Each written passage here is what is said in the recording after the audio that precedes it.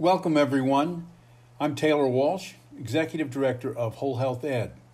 On behalf of our co host, Adam Shriver, Director of Wellness and Nutrition Policy at the Harkin Institute, we want to welcome you to this series of videos from our June 2023 symposium, First Line of Defense Confronting the Adolescent Mental Health Crisis Through Interdisciplinary Whole Child Actions in K 12.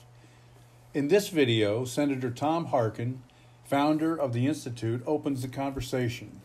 During his time in the Senate, Senator Harkin was the leading advocate for improving the nation's health and healthcare system. I'll say a few words, followed by my partner, Dr. Larry Rosen, for many years a national leader in whole child pediatrics.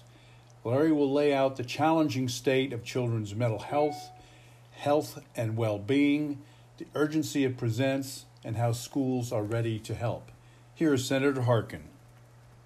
Good morning. I am pleased to introduce today's discussions on creative ways to address the very disturbing adolescent mental health crisis that our Surgeon General, Vivek Murthy, has made his most important policy issue.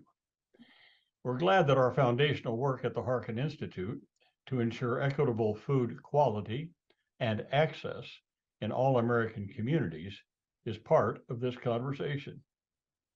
The idea that schools already have access to multiple activities uh, shown to support student mental health, which in turn can sustain their growth and success in academics and school life, is one that needs much greater attention. In many ways, emphasizing the value of multiple activities like gardening and mindfulness practices, cooking, spending time in nature, reminds me of our experience in the 1990s and 2000s when leaders in healthcare innovation, some of whom are with us today, I'm happy to note, developed policies and programs to ensure that patients and providers had equitable access to multiple therapies then widely used by the public, but not part of the standard system of care. Today, acupuncture, massage therapy, food as medicine, mind body, and other measures are becoming much more widely available. It's heartening to see that one of the outcomes of those efforts, emphasizing professional guidance to improve personal adult lifestyle factors like diet, exercise, stress management, and social connections, have dovetailed with the school garden and other activities to create a potent whole health learning framework. And the idea of incorporating this comprehensive learning experience at the very beginning of children's time in school offers great potential to offset the stress, and anxiety kids are facing every day and to put them on a path that prevents the onset of chronic illness in their adult years. So again, welcome to this conversation. Uh, and uh, please uh, note that uh, we will be following this up uh, with our interactions again with NIH. Thank you again for participating. Great. Um, so with that, I will turn it over to um, my co-organizer, Taylor Walsh. So Taylor, take it away. Well, um, thank you, um, Adam, and thank you, um, Senator Harkin, for for those comments today. Thank everybody for joining us. It's really a great pleasure to be with people we've been engaging with for the last couple of years and joining together. And this is an occasion for us to say happy fifth birthday to Whole Health Ed. There you see a similar type of a group that got together at Georgetown University five years ago and started to answer the question that we still have today, and that is what if? So the what if is uh, uh, if we put an array of ancillary and supplemental programs found at thousands of schools across the country were pulled together, unified, and made part of a single learning framework. Each of them has long since been integrated into academics. Research in recent years shows positive outcomes on mental, emotional, and behavioral health. And they were continued to be supported today by thousands of specialists, adherents, and educators and community folks. Strangely enough, these conditions reminded me of those just before STEM was created, which is to say, before the existential threat to the nation began circling the Earth in 1957 when the Russians launched Sputnik. The challenge was clear, and the might of the nation was reorganized to meet it, fusing together capabilities and traditions of four discrete disciplines into a unified whole science, technology, engineering, and math, of course. When Larry and I uh, connected, Larry Rosen and I connected, we shared a deep concern for what similar existential threat to the nation, and that's the declining health of the population and the disturbing impact of childhood obesity, substance abuse, negative social determinants, adverse childhood experiences, and, and illnesses emerging, uh, emerging in childhood we hadn't seen before. So we thought, let's bring together a group to Georgetown to consider this what if question. What if there were a compelling health and learning continuum that could begin to grapple with this declining state of children's health in new ways among new partners stretching beyond their usual approach. The most compelling outcome of that first gathering occurred when our colleague, Kate Tumulty Felice, who was here, returned home to South Jersey and implemented her version of what if, which is, what if we did this right now? So four months later, the semester long, the first semester long program of whole health studies began at Lakeside Middle School in New Jersey. Kate enlisted Wellness in the Schools, who's here today, to conduct kitchen workshops, the Holistic Life Foundation, Baltimore for mental health practices, mindful, pra- mindful practices. I should. How are you on your way? The uh, outcomes of that simple implementation were compelling. Great. So I thought, you? what if we could cut and paste this times one hundred thousand schools. Well, that's to be seen, right? Since then, of course, the depletion of kids' health and well-being has exploded. The true impact of what it looks like when an existential threat is actually apparent has become evident most recently in, in the reported decline in student test scores this week. But even then, they missed the point. Here's a headline more bad news for test scores. That's not it. It's more bad news for the well being of the 13 year olds who took those tests. So, learning loss, yes, is in plain sight. It is even more consequential. Uh, the even more consequential well being loss that underlies the disruptions of adolescent mental health that the Surgeon General, as the Senator points out, are, are most his, his most important public health crisis. You know, as Larry has said, we're not going to solve this mental health crisis one consult or treatment at a time. The shortfall of school psychologists and counselors is pronounced, and appointments for private practice are hard to come by. So the question is, how in the world do we deal with at scale this often terrifying set of conditions stacked up and looming over these folk, over these kids? Well, we can start maybe in the school garden. The key to the school garden is where it is located and where all these activities are located, which is inside the nation's K 12 school infrastructure, a confounding, perplexing superstructure of hope if there ever was one. But I haven't been able to shake the idea that ultimately the answer to how do we meet these challenges at scale quickly and most cost effectively is going to begin on the school campus. The improvements we all seek really aren't a healthcare task, though improving health is absolutely fundamental. This is a learning task, you know, one that asks educators to place strengthening children's well-being and resilience into the core of their missions. So today we'll hear from folks whose work in those usually ancillary programs has made the case for this kind of stretching. Having served thousands of schools and millions of children already, the proof of concept, and we we believe, is done. So I want to thank everyone for coming. We're thrilled to, to uh, invite you in and to, define this this uh, conversation and and learn more about what you think what might be done with if if we get going on this. So with that, I want to turn this over to my partner Larry Rosen, who is a uh, pediatrician in North Jersey, who uh, is a professor uh, at pediatrics at the uh, the uh, Hackensack Meridian uh, School of Medicine, and who's had a lot of experience on many levels dealing with pediatric health and whole child well-being. So Larry, I leave it to you.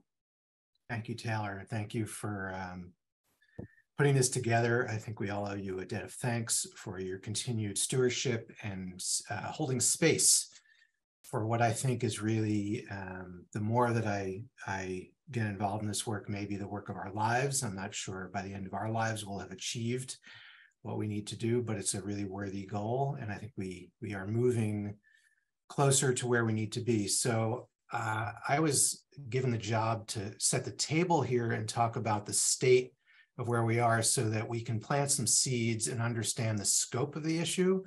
Uh, you can go to the next slide, please. Um, and I think I keep coming back and I use quotes like this and images like this to remind us that uh, many politicians, writers, thought leaders across the centuries have echoed this comment. And yet in the United States, we continue to not live up to these uh, moral challenges. Let's go to the next slide. So this is a graph many of you may have seen, um, which puts the United States in context of other countries around the world, and it compares life expectancy at birth with health expenditure per capita. And as many of you might know, in the United States, we spend much more dollars per person on healthcare. The results continue to be terrible, frankly.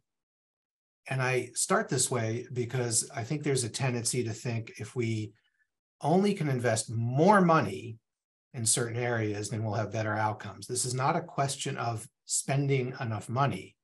It's about how we are spending the money and a philosophical difference about how we can make up this difference. And I will just point out recent data points out that the gap is widening over the last three years since the COVID pandemic. Let's go to the next slide.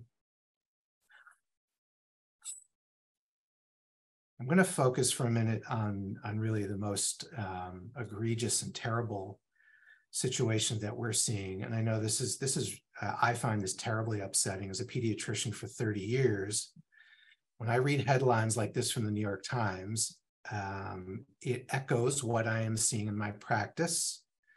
And I'm starting with really the tip of the iceberg um, when we talk about the most extreme uh, suffering that we see in kids today. It's suicidality. This is the really extreme end of anxiety and depression data that we all read about. I'm going to show you a short clip in a second from a, a trailer from a movie that really emphasizes this, but I really want to point out, uh, and I will just share with you this week, I have several kids who have spent time in emergency rooms for mental health issues, and one has been there three times in the last seven days. Kids are spending weeks waiting for psychiatric beds and placement around the country. This is this is a disaster. And so if we can go to the next slide, you'll see a clip from a, an upcoming documentary that spells this out. We've been in the emergency department around 26 times in the past two years. The longest time Cecilia's had to be in the emergency department was eight days. She was eight years old. We are really in a crisis state for children's mental health. There are many days and many children for whom we don't have a psychiatric bed anywhere in the community. We all feel like we're in the middle of a war right now. We've got children we can move on to the next slide, languishing in emergency Here. departments for days, weeks. We've heard stop stories the of the worst cases of close to months. Thanks. And we can go to the next slide. I just wanted to show you a short clip from um, the organization Speak Our Minds. This is data that backs up what you've seen in the clip. This is pre-COVID. You'll see that the curve ends in 2019.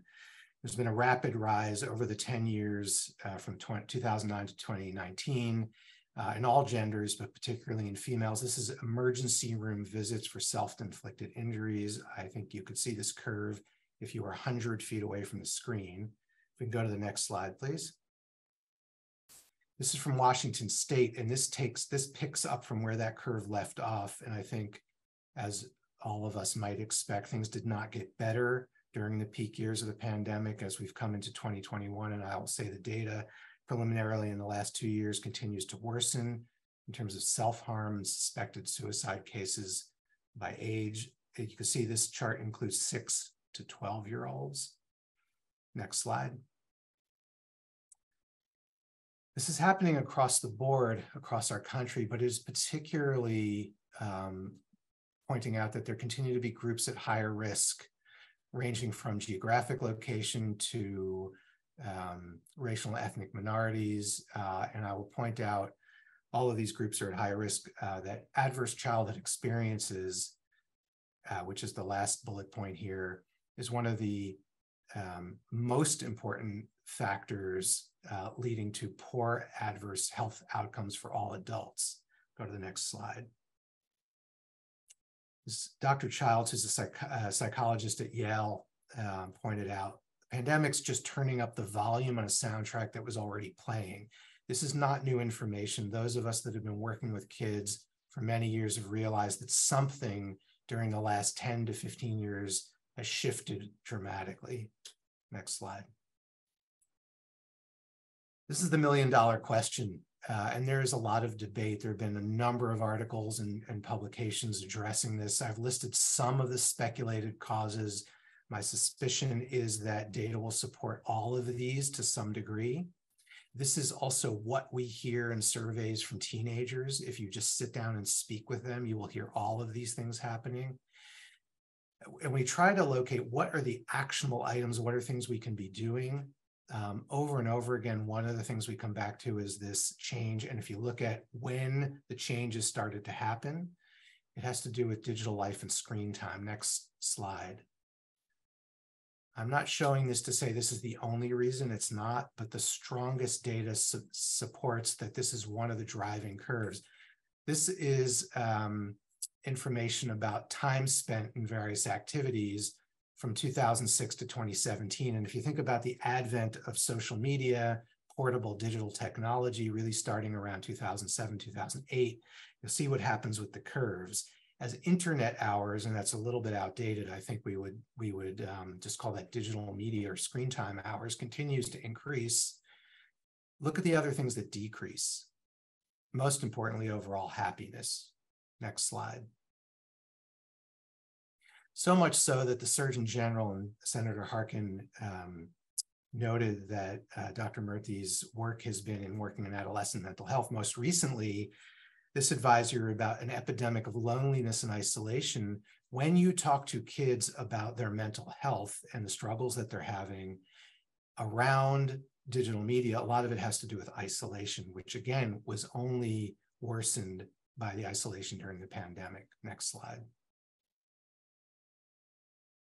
What has been the response in the US to date? Next slide.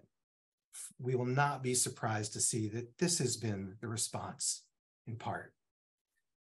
These are headlines from a New York Times article, uh, as was the first New York Times article, a really um, moving series about adolescent mental health, that the number of prescriptions of medications has risen dramatically. The data on the right is from the NHS in the UK, talking about primary care doctors prescribing medications for children under 18 and a steady increase over the past five years. The response of the medical system, which is of no surprise, is to add medical care. That is what we do in this country. And I am not saying that medication or psychiatrists are not important and that tertiary care is not important, but we invest a woefully small percentage of our budgets in mental health in primary health promotion. Next slide. On the school end, and you'll hear more about this from educators who are much more knowledgeable than I am about what's happening, the amount of money put into the school system and funding during the stimulus for COVID is tremendous, billions and billions of dollars. You can see the numbers here. What has the result been? A decrease in health markers. And as this week's headlines will say, scores continue to decline to the lowest levels we've seen in 20 or 30 years. Next slide. it is very clear that what we are doing is not working. So when we think about that and we think about what's going on, what have we been doing, what needs to change, it's important to frame this as what do we know would be the most effective, cost effective, and equitable solution to promote the health and well being of children. Next slide. I want to give you a framework to think about this. This is a story we use in our medical school when we teach our students about social determinants of health and the vast impact that addressing those has on health outcomes. So the story goes like this there's a person standing by the side of the river observing that people keep falling into the river and a variety of volunteers keep throwing them life preservers so that they don't drown. And one person in this group who's helping these dozens of people who keep falling into the river thinks to themselves, I, I wonder what's happening, and walks upstream and realizes that there's a bridge that has been deteriorating, falling down, and that people are falling into the river upstream. And the person decides the best outcome here would be to fix the bridge upstream. So to address the structural issues happening. Go to the next slide. The CDC has taken this paradigm and framework uh, a number of years ago, and we have very clear data showing that if you address the underlying foundational structural issues in health and wellness, you have a much greater impact on health overall. This is for physical and mental health. So that by addressing foundational structural reasons, and we're going to talk about specifically what that is in our case, 80% of the impact we can have comes from these strategies. And next slide. Lloyd Kolbe's article talks about when we're addressing structural causes, both in the educational world and in terms of health and public health and well-being, we, we must start with schools because as he points out, schools materially influence both health and education. So let's go to the next slide. So if we think about what is our greatest opportunity to address the things that we're talking about and the issues in society today, I want, and I'm planting this seed because we're going to keep coming back to this through the afternoon. What are our community centers that have the greatest impact on our children's overall health and well being? Those are schools. And if we truly want to have an impact at the greatest level, why are we not investing in health in schools in a way that will significantly impact health and well being over a lifespan? Until we do that, we are not going to see any significant positive change in outcomes. As Dr. Murthy points out in his adolescent mental health um, publication, if we can seize this moment, step up for our kids and their families in their moment of need and lead with inclusion, kindness, and respect, then we can lay the foundation for a healthier, more resilient, more fulfilled nation. And I would say, Amen. And I think what this is going to require is thought and willpower. And so, with that, I will turn it back to our hosts. Thank you so much, Larry. Thank you for that. Thanks for watching. In other videos, you'll hear from the leaders of whole health learning practices whose years of partnerships with schools and school districts have shown the potential to mitigate some of the issues Dr. Rosen described and to strengthen children's learning and social skills. You'll hear how educators might embrace these programs and how the first line of defense idea complements national post COVID community restoration and resilience initiatives now underway. See the links in the description below.